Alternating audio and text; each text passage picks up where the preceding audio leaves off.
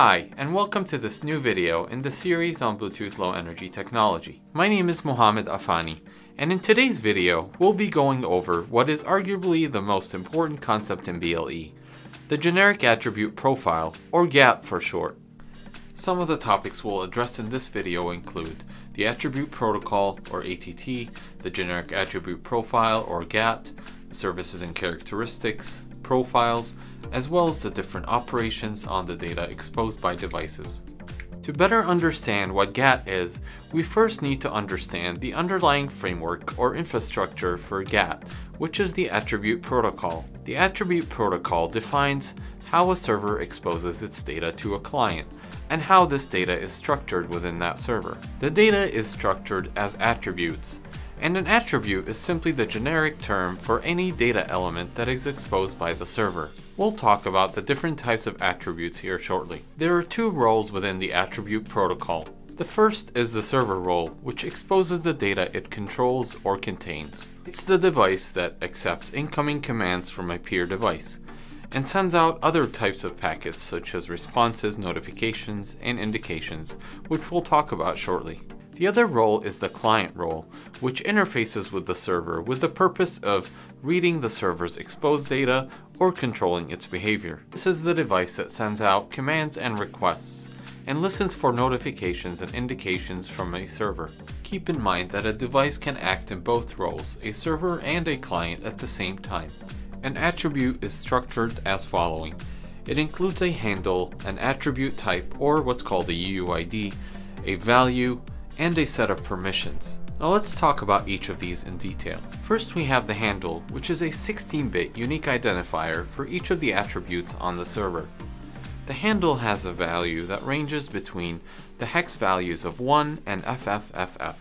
Next we have the UUID, or the attribute type. UUID stands for Universally Unique Identifier. It's a 16-bit number in the case of a Bluetooth SIG adopted UUID, and 128 bits in the case of a custom UUID defined by a developer or a manufacturer. Now there's no central database for UUIDs, so developers looking to create their own can randomly assign a value.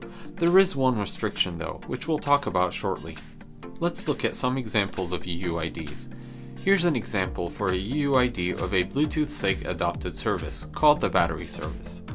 UUIDs of SIG adopted attributes all have a common base UUID, which is shown here. The 16-bit UUID replaces the 4 digits highlighted in red.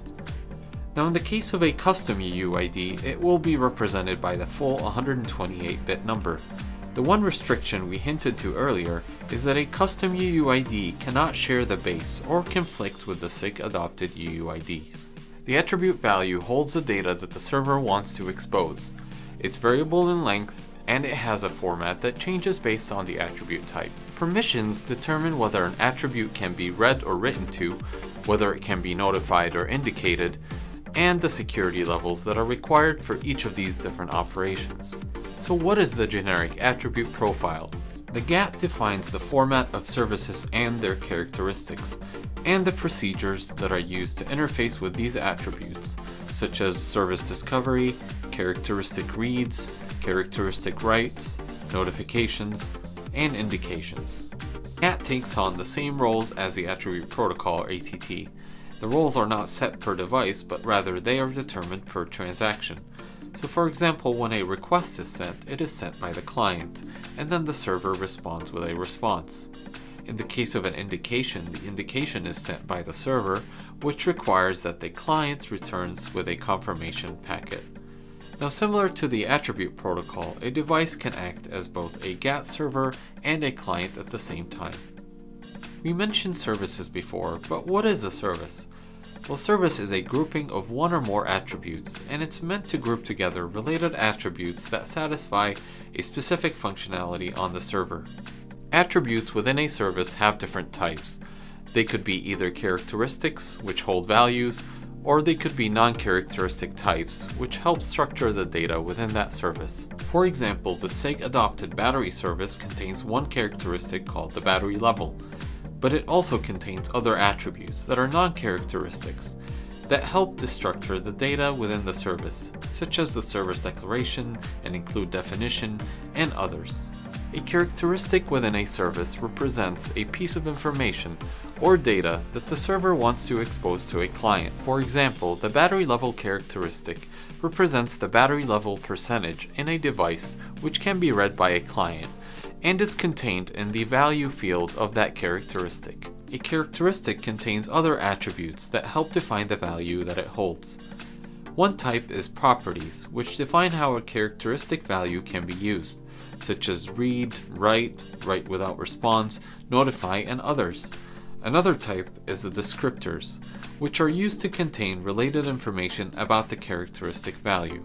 Examples of these include the user description, fields used for subscribing to notifications and indications, and a field that defines the presentation of the value such as the format and the unit of the value. Now, profiles are much broader in definition than services. They are more concerned with defining the behavior of both the client and the server when it comes to services characteristics, connections, and even security requirements.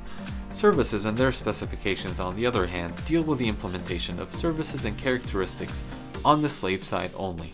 Let's take a look at the different types of attribute data operations. There are different types of attribute protocol packets. They include commands, which are sent by the client to the server, requests which are sent by the client to the server but require a response, and the responses which are sent by the server in response to a request. And then we have notifications which are sent by the server to the client to let the client know that a specific characteristic value has changed. In order for this to be triggered and sent by the server, the client has to enable the notifications for that specific characteristic of interest. Now, notification does not require a response from the client to acknowledge receipt, However, indications are very similar to notifications except that they require an acknowledgement to be sent back from the client to let the server know that the indication was successfully received. Confirmations are what, what are sent by the client to the server, and those are the acknowledgement packets that are sent back to the server in response to an indication. The two main types of operations that take place on attributes are reads and writes. Now reads are requests by nature since they require a response with the value that's being requested to be read. Writes on the other hand can either be requests or commands. Requests are generally more reliable since they require a response that acknowledges the write operation. In the next video, we'll cover the topic of power consumption in BLE. We'll talk about what you can expect in terms of battery life, what parameters play an important role in determining the battery life, as well as how you can optimize to increase your battery life and lower the power consumption of your device. To learn more about Ellisys, provider of the world's most advanced Bluetooth analyzers, visit ellisys.com. Have a need for training or consulting services? Then contact our training partner, NovelBits, at novelbits.io. I hope you've enjoyed watching this video and learned a little bit more about BLE. Thank you for watching, and I'll see you in the next one.